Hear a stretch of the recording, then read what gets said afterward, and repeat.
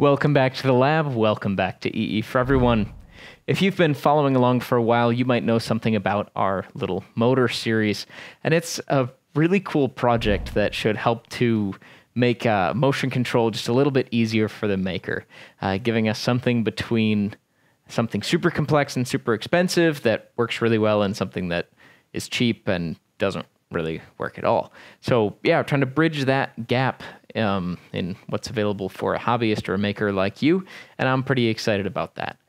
And also, we got an amazing question. Um, yeah, this one really came out of nowhere because we get a lot of suggestions, and I'm usually pretty good about reading the comments and responding when I have time. However, this comment really stood out from the rest, and it was pretty simple. It started as a, as a simple question, and I believe it may have come in part from uh, partnership where wrote an article that got published with Predictable Designs. But basically, they asked me how I learned about EDA tools. Like, how did I learn to use an EDA tool? And that simple question got me thinking. I mean, it's really not that complicated, but it is pretty overwhelming. Like, once you understand how it works, it's simple, but before you get started, you have no idea where to start. And I remember back to one class that if you asked me what I learned there, I don't even know if I could have told you what I learned, but it was really how to use EDA tools. It wasn't teaching me how to do anything in particular, it was just showing me how to use an EDA tool. And as I started to think about EDA tools in general, you know, there are a few core pieces of it, like schematic capture, simulation, PCB design, and library management. Those are pretty standard features that are available. And once you learn how they work and their function, it'll be really easy for you to learn any EDA tool, whether that be Altium or KiCad or CIS or anything, right? any of those EDA tools all have these core features. And once you really understand what you're looking at, it should be pretty simple. So today we're going to make like a little sub series. Of course, if you're going to talk about schematic capture and EDA tools, you need to capture something while you talk about it. So we'll be using the motor series, one of the motor modules that we're going to design as our example to walk you through how to use an EDA tool, what are these core features and hopefully this can be something as like a step-by-step supplement to the already existing documentation for this example as it probably won't surprise you we're going to be using KiCad or KiCad um, this is an open source tool that's free and available everywhere i believe and they have a lot of really great documentation that's already written so by all means have these documents ready because i'll be referencing them a lot but what this series will help to do is serve as like uh, a spot check, right? You can do something on your own. I'll do it. We'll compare notes, right? Every 15 to 30 minutes, I'll give you an example of, all right, if you've been following the steps in the KiCad guide and you're using this tool correctly, then here is what you should see on this screen. And, and hopefully you'll find that really helpful. Along the way, I'll just make sure to talk to you a little bit about how to use the EDA tool, like what's going on under the hood, and um, what you could expect if you might be working in Altium or a different EDA tool. Let's start off in KiCad 6 with some disclaimers.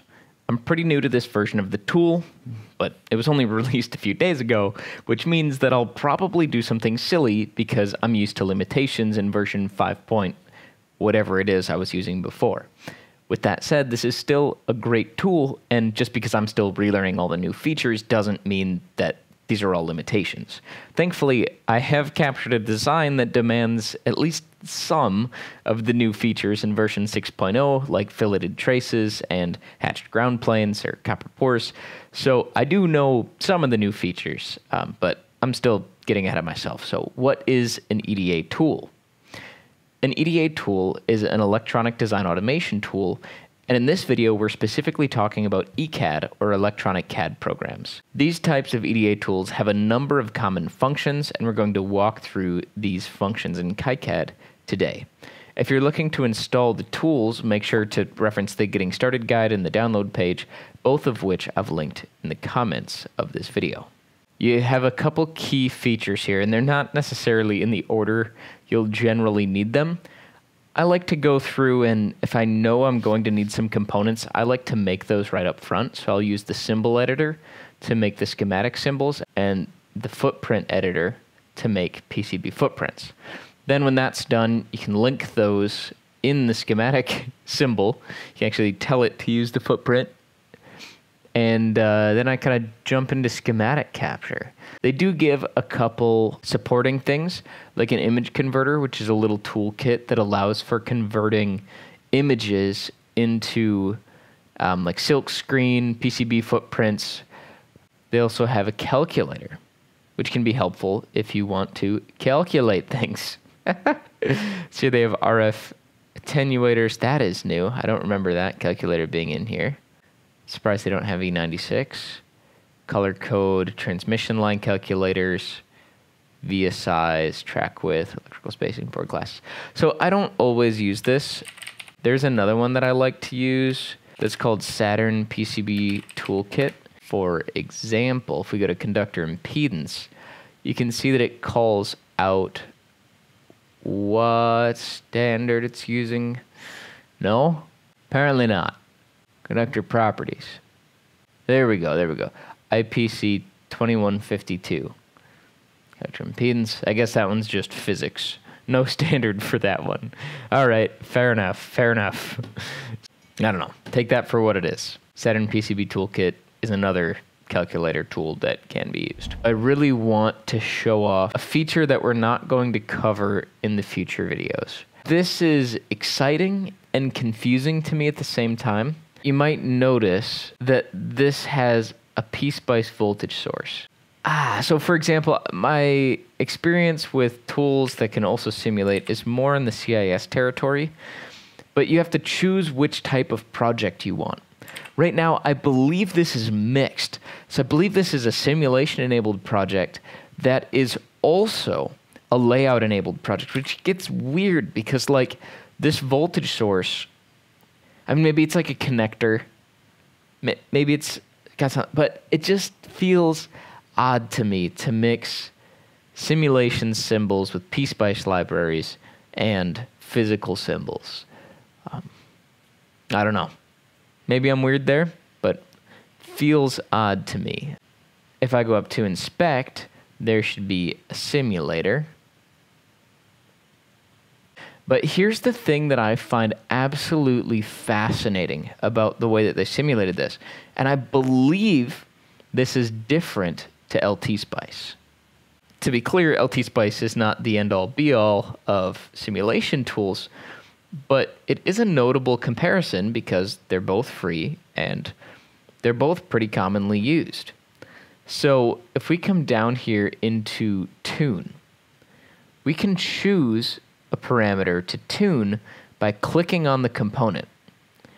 We can take this slider and you can see if instead of a 10 mic, we had a 14.15 mic, if I come up here to 20 mic, holy cow, that was fast. Right on. Oh, okay, that is much faster. so, yeah, we can tweak this capacitor value and look at its impact on the time constant. You might not need this if you're super familiar with how the circuit works. This is such a simple example. I can't say that it's really the best example. And can we actually pull up multiple things to tune? Oh, we can, and they just show up next to each other. Oh, that is so cool. So we can tweak we can tweak this capacitor. We can tweak R2 you can see that moving it up changes that DC bias point. Changing it down reduces the final value. But you can also see it impacts the time constant because the R's functionally R1 and R2 in parallel, which is super cool.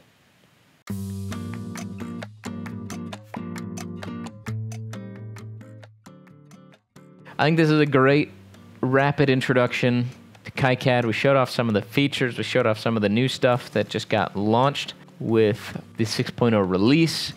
Demonstrated simulation tool, which I think is really cool. Haven't really used that before. But yeah, let me know what you think down in the comments about mixing your simulatable schematic with your physical schematic and the nuances of adding like voltage sources into a schematic. Ah, ah something bothers me about that mixing the ideal and the real worlds. It, it just just feels wrong. It just feels wrong. I hope that you enjoyed this video as we're starting this sub series. I'm pretty excited about this question, and, and I hope that you really like our answer of how to use EDA tools.